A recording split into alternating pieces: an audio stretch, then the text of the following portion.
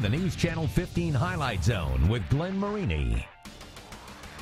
Sports coverage you can count on with the Highlight Zone starts now. From the beginning of summer, getting ready for the season, this is the game we've been looking forward to. Every year it's circled, this is the big game. You know, it's always fun to beat Bishop Dwenger, especially when you're going out and competing for the bell. We love the bell. And, uh, since they, they took it last year, we tell everybody every day we're fighting for the bell. Senior year to take the bell one more time. If we can just take it from Snider and maybe we can keep this bell for one more year. It's week eight already, and the playoffs near, and conference championships are here. A lot of games could have, could have been game of the week. East Noble at New Haven, Angola at Garrett, even Northfield at Whitko. But only one marquee matchup pits two defending state champs against each other. Jessica Starber joins us with your Highlight Zone Game of the Week. Jessica. Last season, only one team beat the 5A state champion Snider Panthers. That would be the eventual 4A state champs Bishop Dwenger.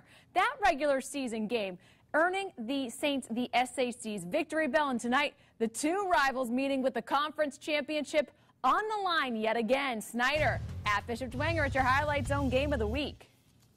The top-ranked Panthers 7-0. A win tonight clinches the victory bell. Dwenger 5-2. A win keeps their conference title hopes alive. Eddie Morris at quarterback for Dwenger.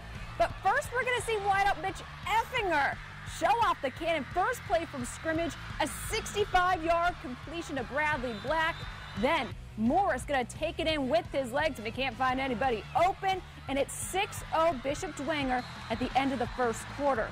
Early in the second, it's Morris one more time. His second rushing TD of the night puts Dwenger ahead 13 0.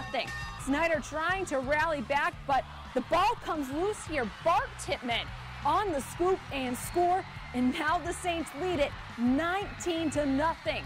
Christian Covington going to get across the lone score for the Panthers at half, but at the break, Snider trails Dwenger 19 to 6. More Dwenger after halftime after a Snider interception. Mitch Effinger dashes in from 25 yards out. Now the Saints lead at 25 to 6, but the Panthers try to claw their way back.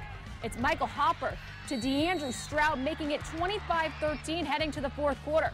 Snider must have gone to the bank because they break out that money in the fourth. Money Woods in for the TD to put Snider within six. Mo Money, Mo problems for Bishop Dwenger as a Saints interception leads to Money's second TD of the night, and now we are all tied up at 25. Snider will get the ball back, and then it's Hopper finding the tight end Simon Dellinger who gets it for the go-ahead touchdown. That is your ball game. Victory bell going to Snider this season, who improves to 8-0 with the 32-25 comeback win over Bishop Dwenger.